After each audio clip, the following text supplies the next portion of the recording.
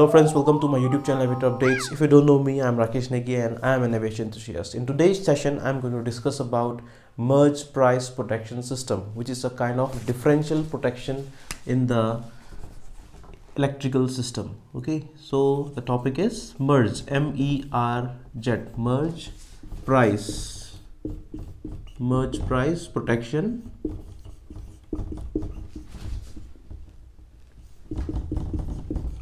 system or you can say Merz price protection circuit. Okay. So friends let's start. So to begin with first of all friends we should know where this system is used or where is this circuit used. This circuit is used in the AC system some of the AC generating systems. Okay. It is not used in DC systems. So I hope you are clear with where this system is used right? It is used in the AC generating systems example alternator systems. Okay. Basically this system is used for protection between phases. Okay? And also it can also be used between phase and ground. Okay? So i repeat again. This Merz price protection circuit it provides protection between phases and also it provides protection from phase to ground. Okay? Or i can say phase to ground okay? Now let's discuss how does this circuit work. Okay? For this circuit to work we need to have two current transformers. Okay? So for current transformer friends i have made a separate session for which i'll share the link below in the description. Okay? Do check it out. So suppose this is an alternator.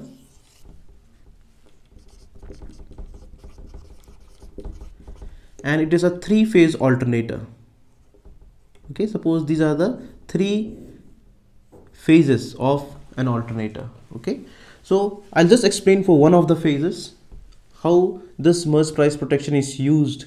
Okay suppose i'm taking this phase. Okay so in this phase suppose this is the contact breaker here. Okay which is connected to a relay coil okay and connected to the ground that is the aircraft structure.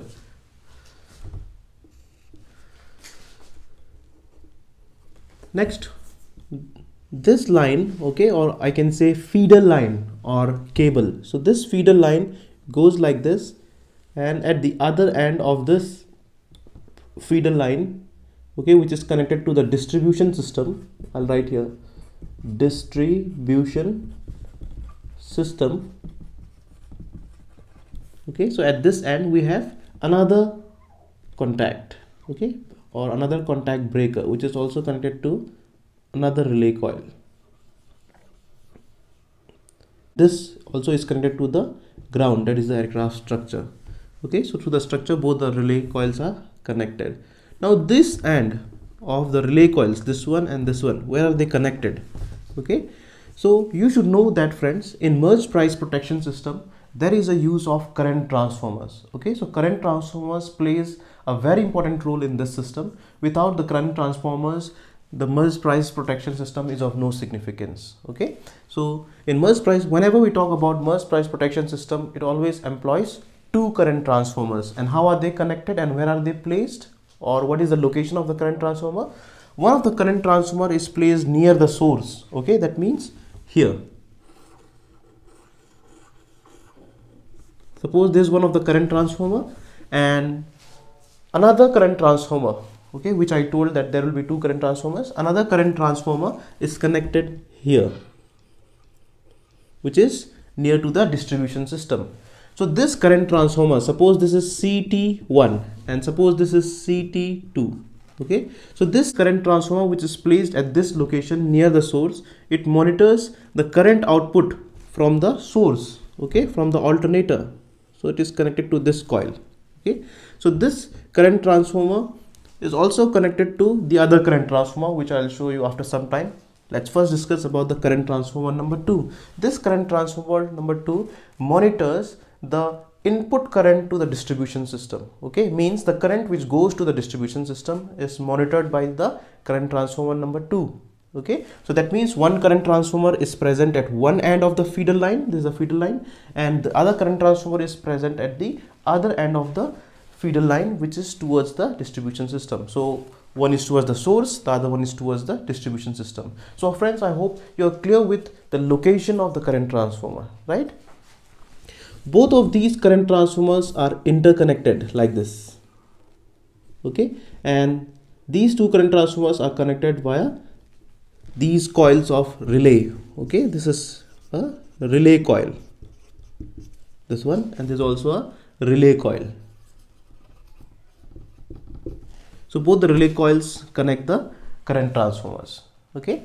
So now friends you already know the current transformers this is the secondary winding right? Primary winding is the feeder line right? As discussed in my previous session on current transformers okay? So now when the system is operating when the alternator system is operating when all the phases are active that means when current is flowing through this the current will flow by means of this line okay? And by means of this feeder line it goes to the distribution system right? And distribution system operates. So in normal situations what happens is the current which would be present here in this current transformer and here in this current transformer the currents would be same that means the induced voltage or the induced EMF in current transformer 1 and current transformer 2 would be same in normal scenario okay? Hence no current will flow through this okay? No current will flow between these and hence the coils will not be energized. I repeat again in normal scenario when current is flowing to the feeder line the induced emf in current transformer 1 and current transformer 2 will be the same and you know well friends when the voltages are same at two points then no current flow will be there. So why is the induced emf same over here? Because the current which is flowing through this feeder line same current flows through this right in normal scenario. So since same current is flowing through both these current transformers the induced emf in this winding is the same. That means the potentials are same at both the points. So when potentials are same no current flow will happen in this circuit and hence both the relays will not be energized okay so that is what happens in the normal scenario. Now let's talk about the other case. Suppose this feeder line is having some fault. Now what fault can be there? Suppose this uh, feeder line has short circuited with the aircraft structure that is the ground. Okay suppose the insulation was broken and when the current was flowing through this feeder line that current it is touching the aircraft structure. So what will happen in that case? More current will be drawn from the alternator and it can even lead to burning of the alternator because more current is being withdrawn from it. Okay so do you want this thing to happen? No. So in order to prevent this thing the Merz price protection system what does it do? In such a scenario when there is a fault happening in the feeder system or causing the feeder fault or the current to appear because of the short circuit of this okay? So i mean to say whenever there is any fault in the feeder system let's take an example of short circuit of the feeder with the aircraft structure in that scenario what will happen is the emf induced in this current transformer and this will be different. So since the emf induced is different now since the emf induced in both of them is different so now the current will start flowing. So current will start flowing in this loop and what will happen is the coils will be energized. So when both coils will be energized this one and this one what will happen is because of the energization of this coil okay this contactor will open. And same way this side contactor also will open. So when these contactors open current will not flow to the distribution system.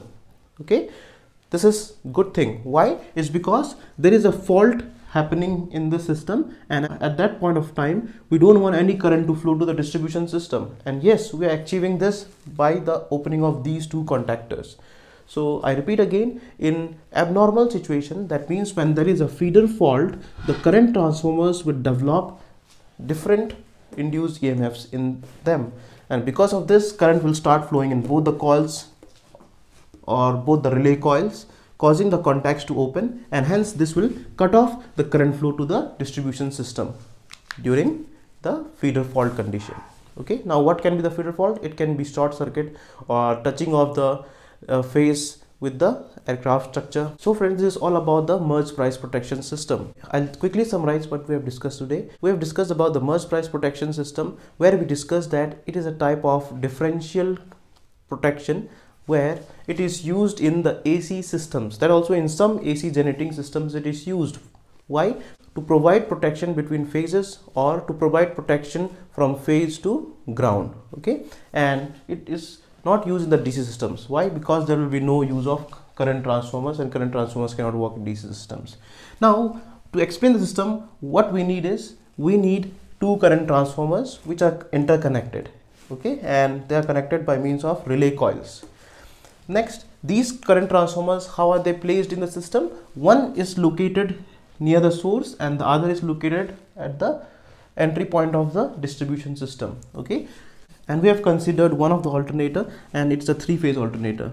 So if i want Merz price protection for the other phases i need to have this type of arrangement or this type of connection of current transformers for this one and this one as well. Okay? So in this system i have not explained for this and this. It would be the same as like the one which i have explained for this phase. So in this system what i have explained is just for one phase. So one phase how i have explained here is first case is normal situation okay or normal operation. In normal operation when the current is flowing through the system that means by means of this contactor which is normally closed what happens is the current flows to the feeder line and goes to the distribution system. In this scenario since the current is in the feeder line is the same at this point and this point so same emf is induced and since same emf is induced there is no flow of current in the coils and hence the system keeps operating. But when there is some fault in the system as like the short circuit of the feeder okay causing feeder fault to happen which is the abnormal scenario what happens is the induced emf which is at current transformer 1 and the induced emf which is at current transformer 2 will be different. So since the potentials are different obviously current will flow. So current will flow in this circuit as well as in this circuit of the relay. So when the relay are getting the current obviously they will be energized as they are having the grounding part so when the relay is energized, they will open these two contactors on both the sides. Hence, current flow from the generating system to the distribution system will be stopped. Okay, so this is how the protection is offered in case of the feeder fault. Okay, so friends, I hope you have enjoyed learning today's topic. I'll come up again with a new topic in my next session. Till then, enjoy learning this topic and thank you.